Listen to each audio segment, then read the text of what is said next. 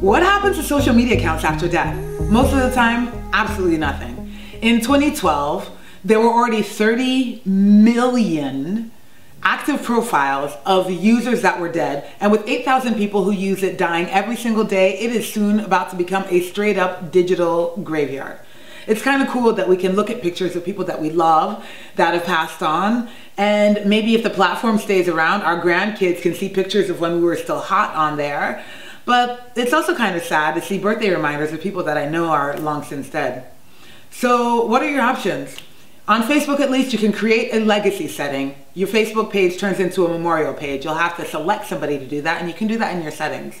For Instagram, Twitter, Snapchat, the rest, you can either delete it or leave it there for forever. Up to you. Just tell somebody what you want done with it.